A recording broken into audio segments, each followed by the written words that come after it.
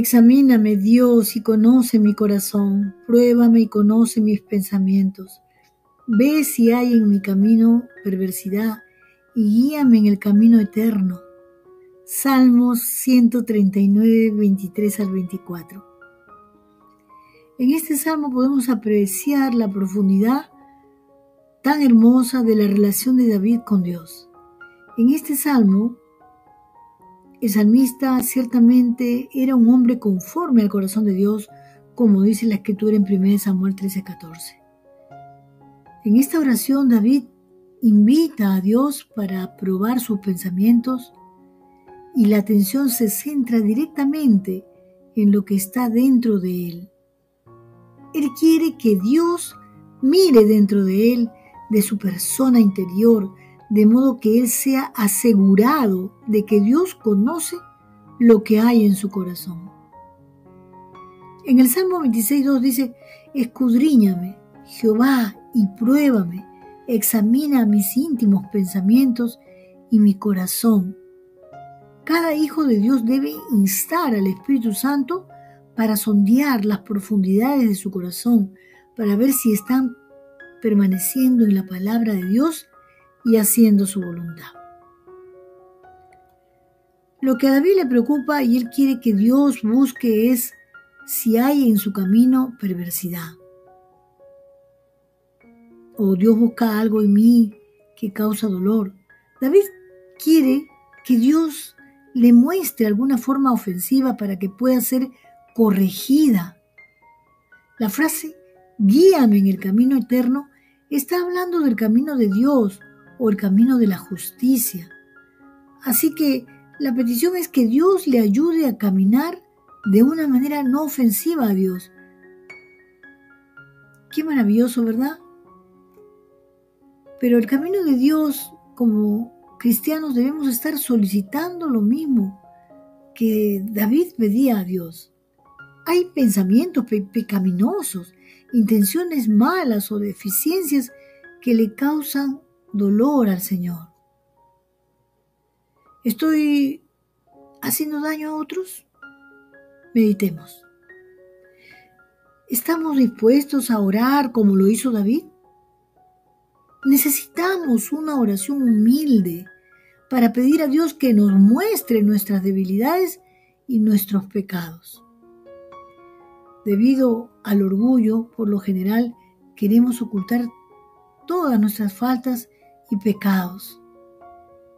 La mayoría de nosotros no quiere pensar en ello o trata con ellos, no quiere saber, no quiere hacerse problemas, no queremos que los demás vean nuestros defectos, ¿verdad? Y a menudo respondemos al vivir en la negación, aunque Dios lo sabe todo.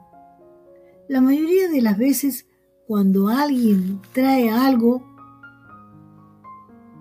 nos ponemos a la defensiva y rechazamos tratar con la situación y admitir nuestro error. Se necesita humildad para orar como lo hizo David, ¿verdad? Porque cuando lo hacemos estamos invitando a Dios a corregir nuestros problemas para que podamos volver a tener comunión con Él porque el pecado nos separa de nuestro Padre Celestial. Por eso es importante imitar la oración del salmista. Tener ese corazón sencillo y humilde. Cuando humildemente admitimos y confesamos nuestros pecados a Dios, es cuando crecemos en nuestra vida cristiana. Es solo cuando somos completamente honestos con Dios que Él nos ayuda con nuestros problemas y nos muestra cosas que muchas veces estamos demasiado ciegos para ver. Tenemos que darnos cuenta de que Dios ya conoce todos nuestros caminos, inclusive de los caminos de perversidad, y probablemente otras personas también lo conocen. Así que en lugar de vivir en la negación y estar siempre a la defensiva, tenemos que pedir ayuda a Dios. Como creyentes no debemos huir de Dios con nuestras luchas, debemos correr a Dios por ayuda y una relación renovada en Él.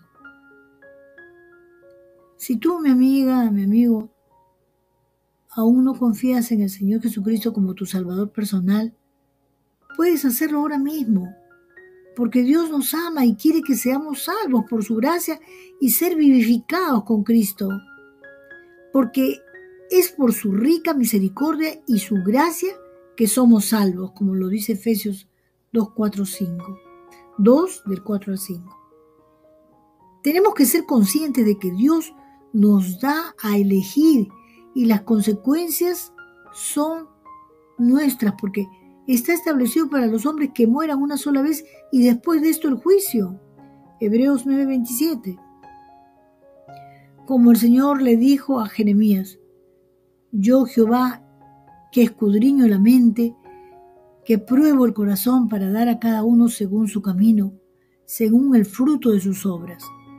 Jeremías 7:10.